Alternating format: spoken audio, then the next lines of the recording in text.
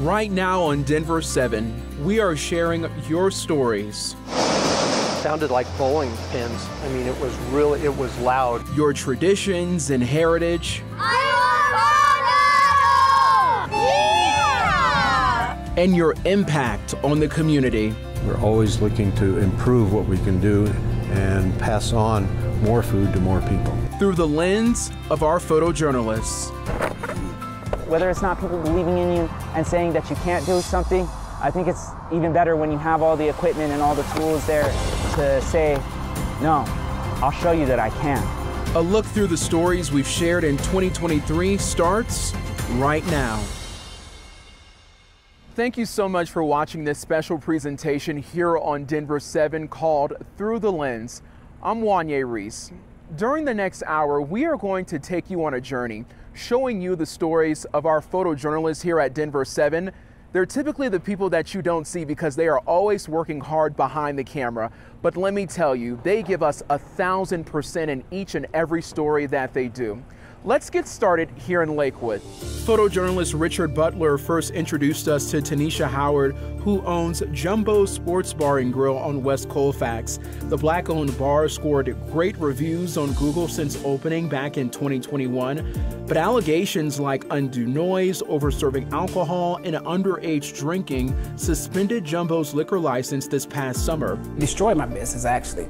You know, it's going to take a lot to bring it back up. But I done lost so much money. I picked through some of the, the reports. I could see what was happening, that they are being unfairly targeted, in my opinion. Lakewood Councilwoman Anita Springsteen told Denver 7 she supports Howard and her business and feels the move was a disservice to the community. Denver 7's Richard Butler did check back in with Howard to see if Jumbo's was able to be back in business. She says a judge did not have strong enough evidence to revoke the liquor license, but did issue a six month probation period. Tanisha says she is, quote, trying to rebuild and trying to stay in the building. She also adds she wants to get an attorney but cannot afford one right now. Taking a look up north now in the town of Lyons, 2023 marked a decade since floodwaters ravaged that area. At the time, there were some stories of tragedy, but there also were some stories of hope. Photojournalist Drew Smith is sharing a special story with us that you may have not heard about before. It's a story about a man and his excavator. Construction can be a loud business. But for Steve McCain and his son Jared, nothing compares to the sound of September 2013. Sounded like bowling pins. I mean, it was really, it was loud. Steve had found his business in the middle of the worst flood the town of Lyons had seen for 500 years. 40 foot wall of water. That's what I call it. 40 foot wall of mad water. I was a junior in high school. Only 16 at the time, Steve's son was just beginning to work at the family business. I just got my driver's license, I think, the week before the flood. So I was free roam. There would be no teenage roaming. Realizing the National Guard was still days away and that they had the only excavator in town, the McCains sprung into action. We went up to the bridge, checked it out, and it was like, wow, we're going to need a lot more machinery to work on this. Steve decided to use his excavator to shore up the last remaining bridge in town. Time and the elements were working against him, as well as a surprise obstacle bureaucracy. A local official tried stopping him, saying, You need a permit, and my response was, to them was, uh, either help or get the f- out of the way. For the record, City Hall was closed on account of the historic flood, but that didn't stop Steve from leaving a public comment. Showing them they were number one. and used one finger. And I liked it. That's what made me laugh.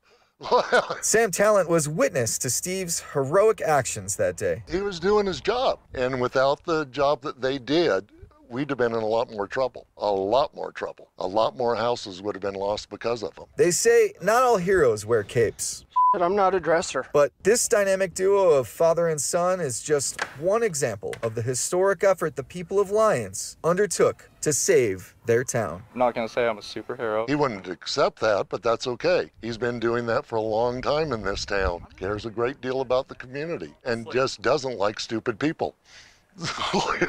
I got to say, it was one of the funnest times of my life In Lyons, during the flood. I mean, super fun. Drew Smith, A lot of good camaraderie here. Denver 7. I'm photojournalist Cameron Duckworth. I'm outside Fort Collins where I'm learning that the Cameron Peak Fire is still affecting the Poudre River. In 2020, the Cameron Peak wildfire, largest wildfire in Colorado state history, most of which burned in the Poudre River watershed. The landscape was pretty severely impacted. In July of 2021, the Black Hollow debris flow. Power of that water was astonishing, the size of the boulders and the debris that came down. The river was just choked with sediment. It was running black as black, and it actually just suffocated fish. We lost all fish for 20 miles downstream. It was catastrophic. Stock between here and Eggers, and then come and meet us right back at this location. Ready? Today we're stocking 108,000 rainbow trout. To rebuild the fisheries uh, is a lot of work and it takes many years to do so. Today we're stocking one to two inches, so they're age zero, rainbow trout. Is any room left? Well, I fished the Poudre River. I'm a member of Rocky Mountain Flycasters and the conservation and service work they do is very important. It's important to me to protect the fishery, so for as many years as I'm able, I can continue to fish up here with success. The fisheries are important, both in terms of just the overall health of the ecosystem of the Poudre River. Fish are important to that, as well as providing recreational opportunities and angling. Good luck, little fishies. It's absolutely worth it. Many people celebrate the holidays with their loved ones gathered around the table eating some food. But unfortunately, millions of pounds of food go to waste each year. Denver 7 photojournalist John Henderson introduces us to a nonprofit that's looking to fill that gap. Over 40% of the food that's produced in this country is wasted. Basically, we're taking good food that would normally end up in the landfill and putting in the bellies of people that you really needed. As we grew with the services that we were providing, we ran out of space. I began to look for additional property and we found this building. Our old building was 11,000 square feet. This building is 30,000 square feet. When we load and unload our trucks, staff can close the garage doors. Now we can park all of our trucks inside, out of the elements. They're protected from any theft. We can bring kids from schools in, show them videos of what we do. We can provide them information, or they can conduct their own informational sessions in, in this uh, classroom. The demand has increased from the beginning of the year to where we are today by a factor of about 65%.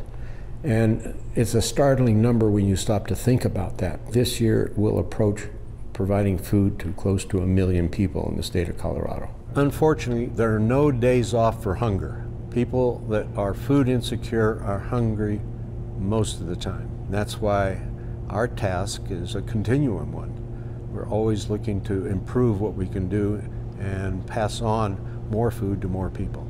Coming up, inspiring social change one cup of coffee at a time. This is a learning space. You go in expecting a latte and you walk out with a lesson. How one local cafe is working to make a more accepting community for all. Plus, I believe wholeheartedly that I was born to be in this profession. I was born to be an auctioneer. We share the inspiring story of Haley Bear as she breaks barriers for women in her industry.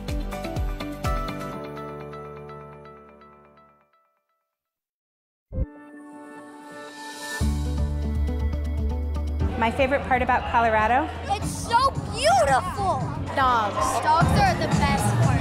Seeing Dinger. Um, the mountains. I like the swimming pools in the mountains. Honestly, everything. The casual atmosphere. I like the Nuggets games. The museums. I like every single thing in Denver and Colorado and America. Everything's the best. I just love Colorado. Whether you've lived in Colorado all your life or you're somebody like me who's still relatively new to the area, there is no denying you all. We live in such a beautiful state, a state that's also home to many traditions that are connected to Western heritage, which gets me thinking about the Douglas County Fair and Rodeo that takes place every year. Photojournalist Jamie Williams Dawson takes us there to show us the great tradition they have going.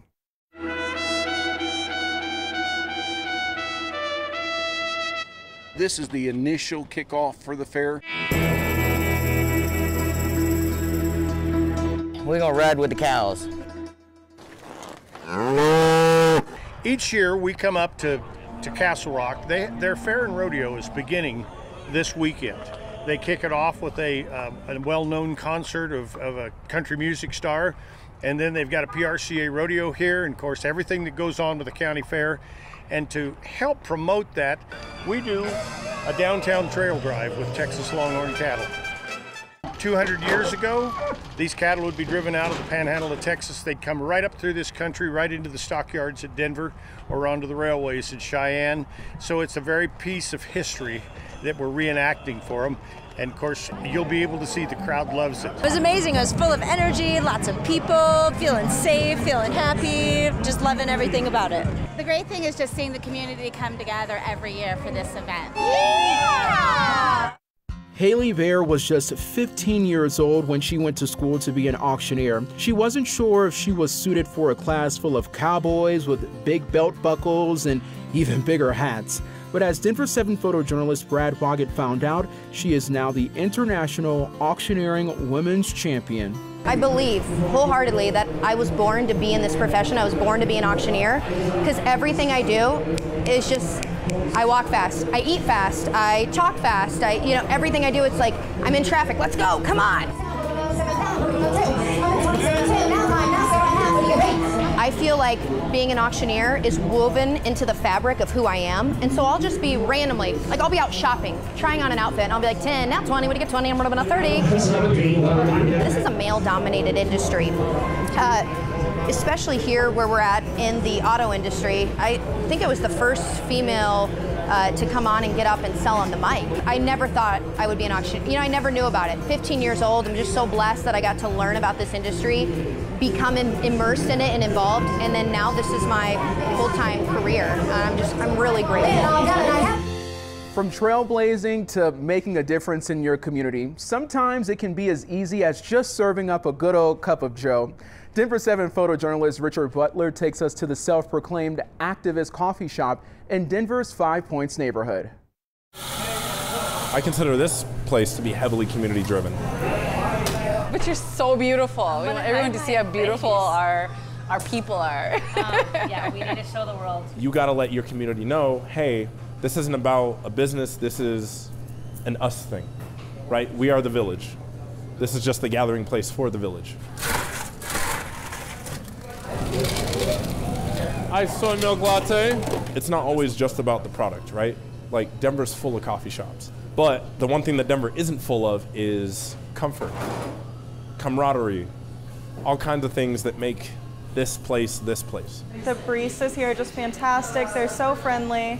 I love what they stand for, and in my opinion, it's the best coffee in town. We are very big on the cultural aspect of what we bring to Denver. This is a learning space. You go in expecting a latte and you walk out with a lesson. Mwah, we love you. Of course. My name is Meliti Brahandamesca. I own Whittier Cafe. Um, we've been here for 10 years. We're an African espresso bar and social justice cafe. You are in the historic Whittier neighborhood. If you know anything about this area, it was a formerly red line community. Um, so in other words, it was all black by, by design. I'm from Tigray. It's the northern region in Ethiopia that unfortunately is under genocide. I started the cafe out of frustration because people didn't understand like where coffee comes from and what a gift you know Africa has given the world. And so I wanted people to know that every day you start your day with a little bit of Africa, you know, in your cup of coffee. We do a lot of you know social justice advocacy and it's a meeting space for activists. That came about pretty organically, becoming the Activist Cafe. There was a young person, Jesse Hernandez, who was killed not too far from here, and there was a group that wanted to mourn their death, and they didn't have a place to meet. And so it was a big frustration. Um, you know, I reached out and said, hey, you can you can meet here, come to Whittier Cafe, and coffee's on, coffee is on us all day. So that was like sort of the beginnings of our like activist story, I guess. If you think of like what is an activist, it's someone who's fighting to bring you know social change and um, uplift people who you know whose voices are unheard. 577. Go ahead and uh, finish that out for me. Thank you very much. The biggest thing that people don't know is maybe sometimes how difficult it is, you know, to be in this space. Um, just given the history of the community and being a red line community and being a black business and then that has survived that. Not that I want to leave, but just that pressure of like, okay, so if I were, you know, to close my business, then what? You know, what happens? Because there's been such a loss. Um, so sometimes that pressure, I think, actually it makes me emotional. but um, that's hard thought, you know. Yeah. So sometimes you feel like. Um, sometimes I feel like I'm. I can't leave. You know, I can't do anything different. So, Okay. Woo, that came out of nowhere. faith will always be there. This shop is a big driving force of that faith. Everything happened so organically that I didn't realize it in the moment, but um, suddenly we became this place that people really love and really adore. One of my favorite, I guess, quotes from a customer was, the coffee is great, but I really come for the love. I'm like, that's really nice. In communities, there is a lot of culture, but one way of representing that could be through art.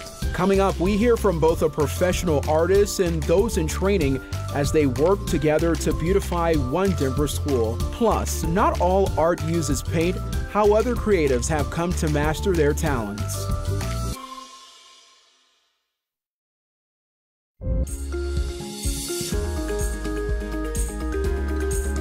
Colorado is home to many artists of many different mediums, just like what you'll see out here at the Sculpture Park in beautiful Denver. Whether it's parks like this, museums, or even some artwork you're seeing in your own community, it represents the diverse and beauty of our great state. Denver 7's photojournalist Scott Blessing introduces us to an artist who used some kids to put the finishing touches on a magnificent work of art. No, no, it's all free-handed for sure. It takes a lot of practice. I know nowadays, you know, you have technology on your side. Before it was just straight freehand. You messed up, you had to have plenty of paint on hand to make sure you, you were able to fix it. My name is uh, Rafael Herrera. We are at Asbury Elementary School in Denver, Colorado and we are putting together a legacy project for the fifth graders. It's the Asbury Eagles, it's, it's the school's mascot. What I wanted to do was create something that was going to use their school colors, invoke pride within the neighborhood with this wall and, and something that kind of stands out in the neighborhood as well. They asked me to create something that was going to lead into their newer projects, which they're going to be extending further down on this wall. So this was gonna be the, the intro to that. Keep your drafts with you so that you can go off of it. Blue mixing into purple, green mixing into blue, uh, yellow mixing into green. So yeah. that's really cool. We're in fifth grade. Yeah. We've been um, making a mural, so we had to find out what the mural was going to be, and then we voted on it. The quilt puzzle piece and like a vine thing.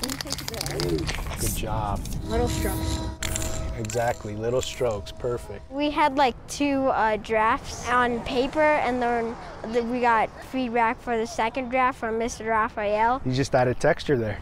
We were trying to go for concrete instead of abstract. I mean, abstract instead of concrete. So like people wouldn't know what we were doing. We're teaching these kids to be able to express themselves. It is my passion. Good now. job. It gives them a sense of ownership. I learned how to like be more abstract and kind of like Mason, make it be exactly how you want it. Are you going to clean up the whole red or just little spots? Good job. Mr. Raphael. Do you need help? Mr. Raphael helped us. He he's really sweet. If more schools did something like this, it would be able to give some of those kids that outlet that, that they didn't know they had.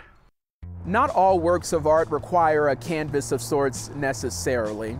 For some, all they need is just the raw materials and their imaginations to create something beautiful, much like these artists that Scott Blessing shows us. Right now I'm using this cheese grater tool to sand down everything. Begin with the 10 foot by 10 foot by 12 foot block. That is pretty much as hard as a rock.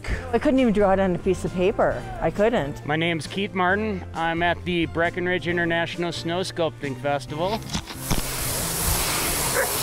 I started in 2006 on the Germany team, and from that day on, I've been hooked. We are sculpting a Ullr sculpture, or the God of Winter, here at the festival.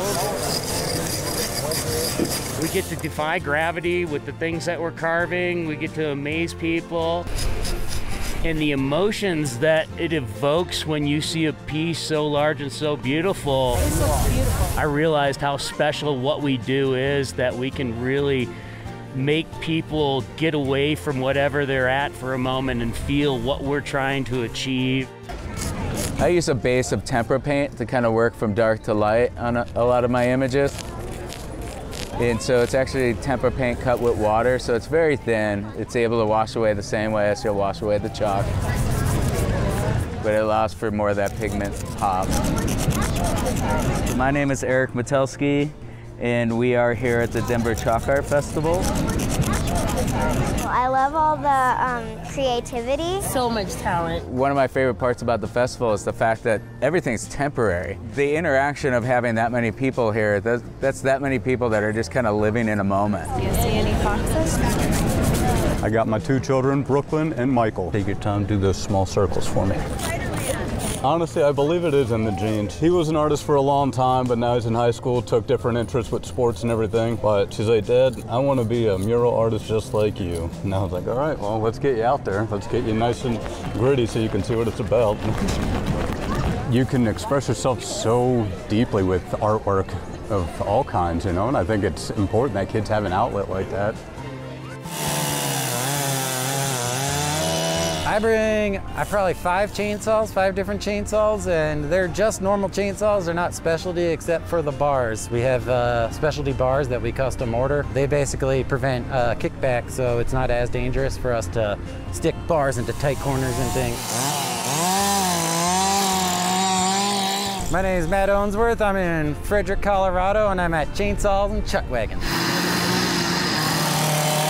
It is a carving competition where carvers come from all over the United States and internationally, and uh, we have a great time making art out of large pieces of wood. So they're pretty amazing. They're good artists. Usually we start out with a large chainsaw and you whack it into the general form that you want. We get smaller and smaller chainsaws until we get to the final finished piece. Really great because uh, it requires my entire focus. So in that way it's completely relaxing because I uh, don't think about problems I have. Even when I have hard times in my life, I like to carve. Up next, 200 acres to honor our servicemen and women.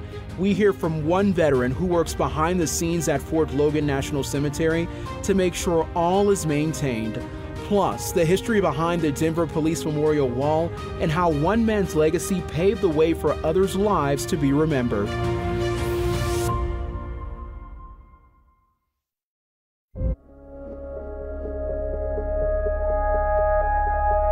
Welcome back to this special presentation of Through the Lens. I'm Wanya Reese. The motto to protect and serve goes even further than just law enforcement. It also applies to canines who put their lives on the line. Denver 7's photojournalist Jamie Williams Dawson attended this year's Heroes with Paws. It's a fundraiser event that focuses on helping pay for bulletproof vests, harnesses, and leashes for canines. At this event alone, more than 35 canines were honored for their work in the community. These dogs are going after the people who are preying on the public and are victimizing people and these dogs are used to go locate them and find them and get them off the street so the public can be safer. There might be a, a misconception that these dogs are um, they just go out and bite people and they're not friendly, but that's that's not the case at all. They, they have a good on-off switch. We can take them around the public and they can just be friendly around children, kids, and, and uh, as soon as you give them the command when it's time to work, these dogs turn it on.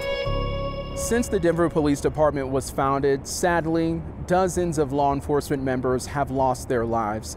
This memorial behind me helps pay tribute to those men and women who made the ultimate sacrifice. Denver 7 photojournalist Scott Blessing introduces us to a man who helped inspire this tribute that you see standing behind me. Today we remember him as we dedicate this street sign as a small token of our appreciation. 104 years ago today, at this time, Officer Klein had been killed. Although many years have passed since his unfortunate line of duty death, and it has been many years for us to learn of his actions, we remember. We remember him and we remember that he made the ultimate sacrifice.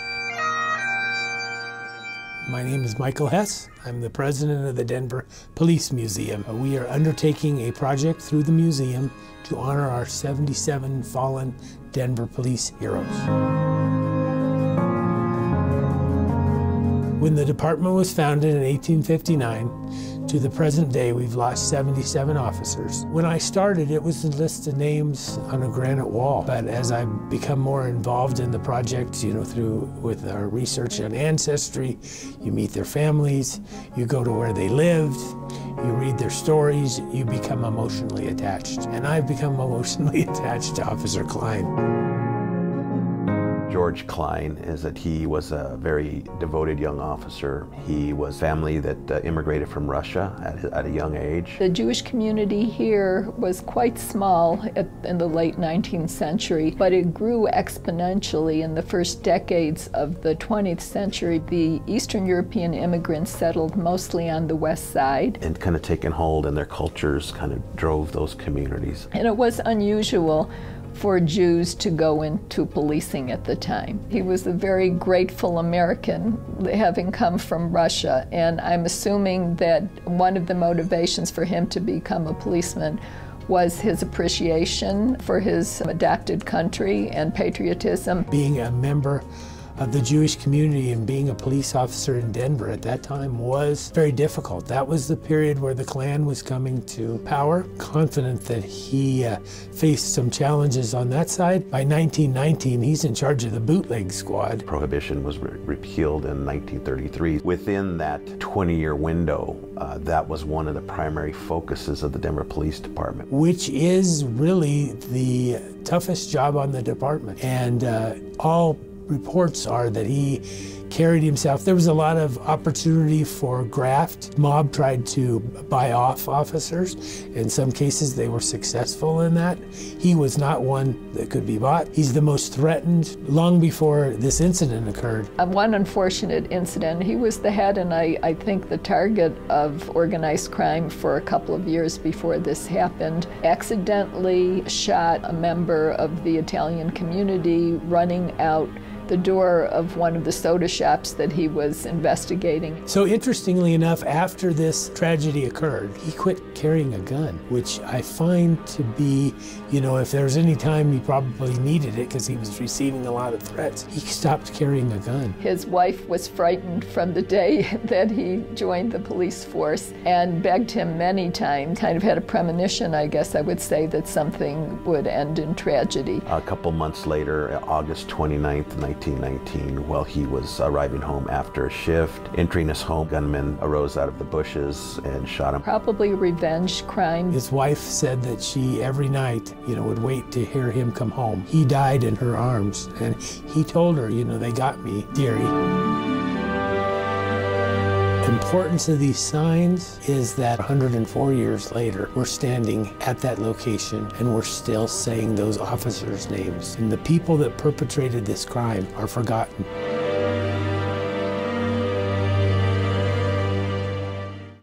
Thousands of service members have been laid to rest out here at Fort Logan National Cemetery in Denver. This property is more than 200 acres, so as you can imagine, it takes a whole lot of work to maintain. Denver 7 photojournalist Scott Blessing introduces us to a man who is working behind the scenes and takes a lot of pride in his job because of a connection that he has. My name is Ashanti Black, and I am the groundwork leader. I'm at Fort Logan National Cemetery. This is the first job I've ever had that I couldn't wait to get up and go to work. My wife gets them, why don't you take the day off? For what? For what? I enjoy making sure the veterans who have served this country that they're interred properly and their family are re respected at the grave site. Give me great pleasure because I too am a veteran. It's a privilege and an honor to be here and take care of the veterans that we inter here. Denver 7 is a proud sponsor of an event that honors those who lost their lives while fighting for our country. It's called the Boulder Boulder. Photojournalist John Henderson actually ran the race himself.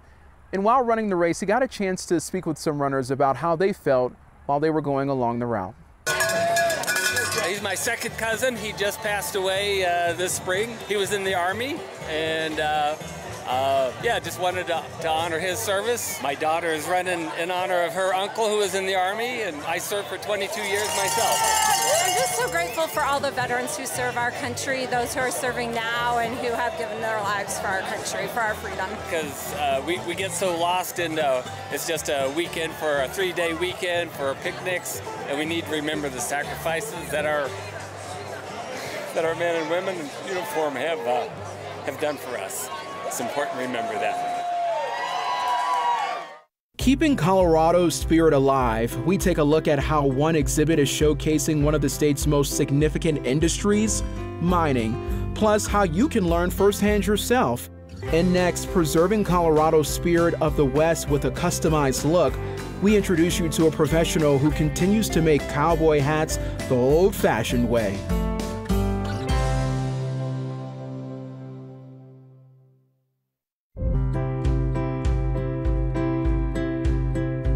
Preserving Colorado's culture and history, let's be honest, you all, it is no easy task, but there are so many people who are working to do it each and every single day. Denver 7 photojournalists Ethan Carlson and Scott Blessing are introducing us to some people who are doing exactly that. Let's take a look. I've always wanted to build hats for the everyday person. The first step that we'll do is we'll take a, a raw body. We're gonna get it pretty warm you think about a lot of different things like the weather and how the hat's going to hold up and where it's going to be. It's fun because everything is truly custom. From the shape to how you build it to the steps that you take when you build it. I believe that it's a tool, you know, it's it should hold up in snow, rain, sun. I try to make uh, cowboy hats for cowboys. You know, I've always taken a lot of pride in somebody that wears a hat every day when they tell you that's a good hat. That's what I'm after. I always daydream a lot about their life and what they're doing, you know. The miles they'll see on horseback in the country and things like that, and just know that something that I made's with them. What I like about Colorado is people wear all different shapes and styles here. That's what's neat about a custom shop is you're getting exactly what you want. We're the ones who had the cowboys that's our history and so I don't take that lightly. I try to carry on the Western tradition with everything that I build. I'll build hats for everybody and do that, but the guy who saves his money and is real appreciative of it, that's where I take a lot of pride.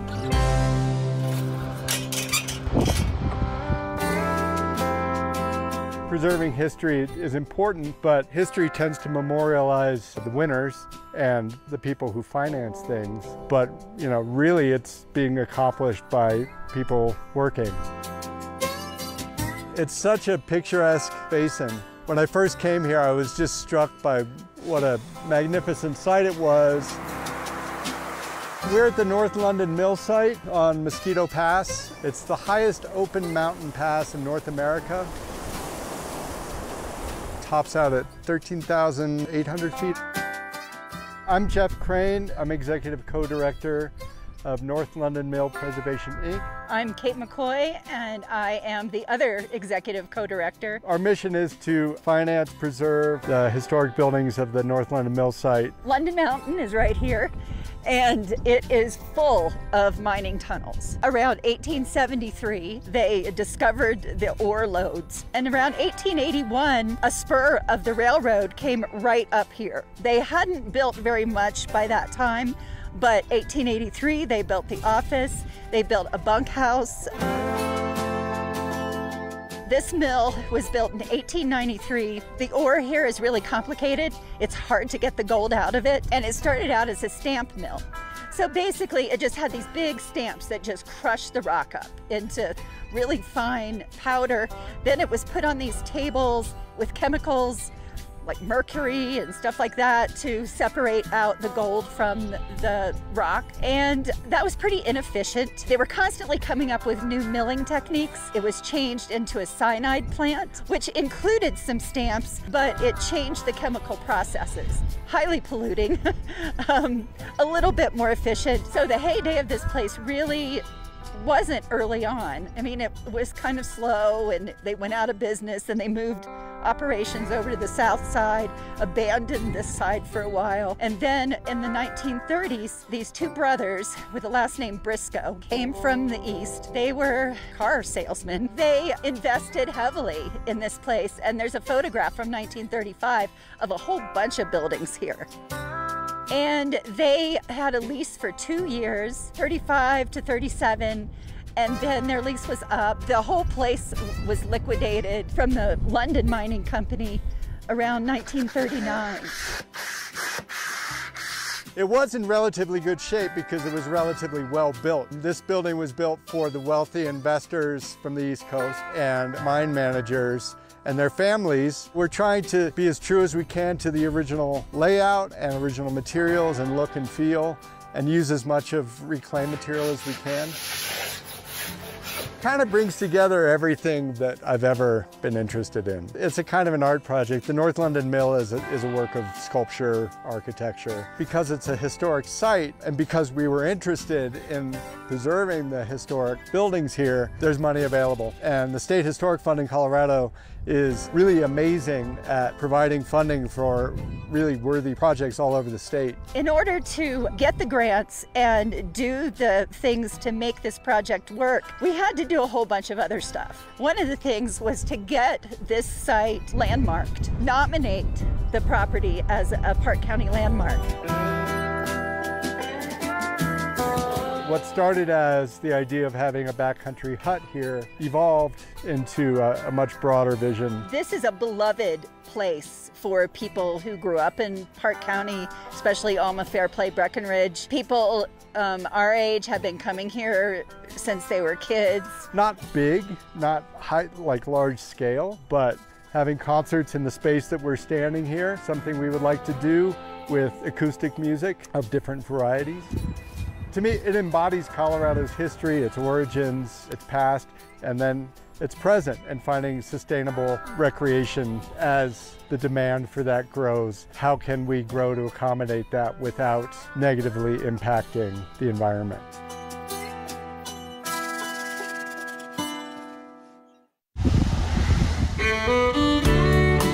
Think this museum talks about a great topic that's underappreciated by honestly the entire world. People don't necessarily recognize how important mining is to the environment and they don't realize that the car they drive in or the spoon they ate cereal with this morning all comes from mined minerals. My name is Jordan Bennett and I'm the curator at the National Mining Hall of Fame and Museum in Leadville, Colorado. It has over 60 exhibits here at the museum, five floors that you can explore at your whim, and we have over 22,000 objects here. We are in our newest temporary exhibit called Leadville's Thirst for Gold. I like to say that people came to Leadville for gold, but they stayed for silver. So there was an initial gold rush that happened in the 1860s, but the gold petered out pretty quickly. The feature objects for this exhibit is actually the illustrated newspapers that you can see lining the walls. So at the time when these prints were made, illustrated newspapers were in their infancy. So this was one of the first times that print and pictures were put together. This also provided the public, especially the illiterate public, a great opportunity to learn about the news without being without having to read the text that's associated with the images and those all date from 1879 and 1880, and it talks about the founding of Leadville, the expansion of the businesses to support the growing mining industry, and then the mines and smelters that were located here. Leadville's Thirst for Gold is actually going to be open for two years, so it'll be open till June 2025, so there's plenty of time to come and see it.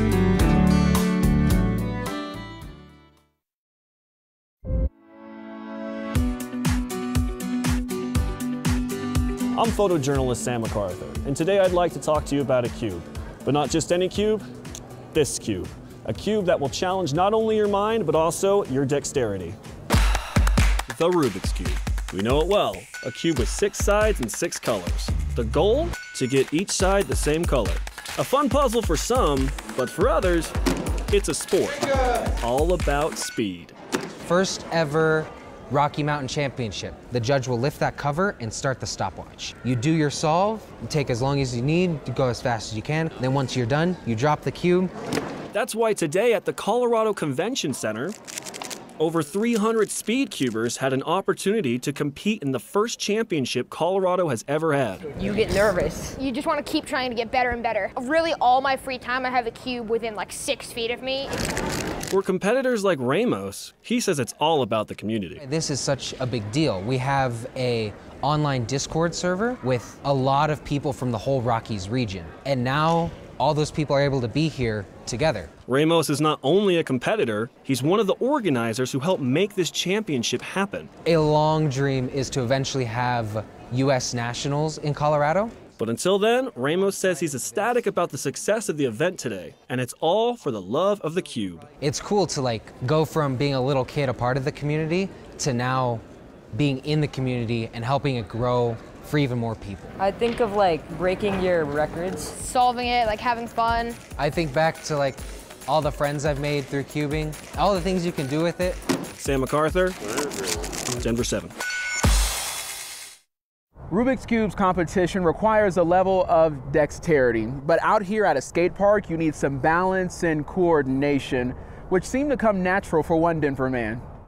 Photojournalist Scott Blessing introduces us to John Barron, who took part in Tony Hawk's Skate Park Hero Contest this year. Barron says he's been skateboarding for 25 years, despite him being blind. It's the freedom that most people probably get when they're driving, something that I never really got to have. When I was born, I was born with a rod cone dystrophy. What that means is that I have uh, less rods and cones in my eyes than everybody else was born with. Light perception, color perception, uh, those things are really jacked up. I want every blind kid throughout the world to have the opportunity to become just like every other athlete who's had their successes. Barron made it to the quarterfinals of Tony Hawk's Skate Park Hero Contest.